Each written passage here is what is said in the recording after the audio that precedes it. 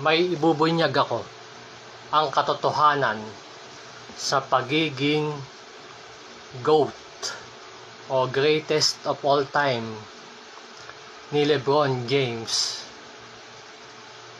At ito, hindi ito matatanggap ng mga MJ fans, mga fans ni Michael Jordan. Ah, sisimplihan ko lang, ito, simpleng-simple lang kung bakit GOAT si Lebron James at hindi si Michael Jordan. Ah, ipag-compare natin. Ah, si Lebron James sa dalawang dekada niya, 20 years. Ah, 20 years siyang nasa prime. Nakikita niyo naman sa numbers, no? Sa points per game, yan. At hindi lang naman siya sa points eh, sa rebound, sa assist, sa lahat na. Ah, compare kay Michael Jordan. Ah, kaya ano, walang kakapatan na maging greatest of all time si Michael Jordan. Bakit?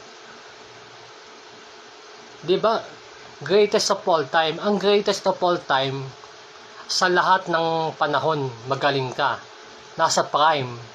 Paano ka magiging greatest of all time kung 6 years ka lang nasa prime? Ayun ang ano, i-compare natin. Ang prime ni Michael Jordan, 6 years lang. Habang si Lebron James, 20 years. So, yan na. Ganun lang. Kaya, ah, hindi pwedeng maging greatest of all time si Michael Jordan. Kasi 6 years lang eh. Tapos nag-retiro pa. Eh si Lebron James walang pahinga. Tuloy-tuloy. Tuloy-tuloy ang kanyang prime. Malakas siya maglaro. 20 years. Hindi ko na sinama yung, yung ano, yung rookie niya. ah. Kasi mabababa yung ano niya doon eh. Yung points per game, mababa pa. So yun lang. Sana naunawaan nyo. Thank you.